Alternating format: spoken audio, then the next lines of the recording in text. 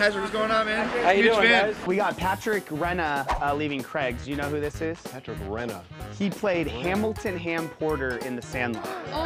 He was the catcher, the pudgy little catcher, and looks exactly the same. So we talked to him because So Sandlot series is coming out soon, man. With the I, I hear, yeah. original cast. Sandlot? Yeah, they're going to be rebooting it into a TV series pretty soon.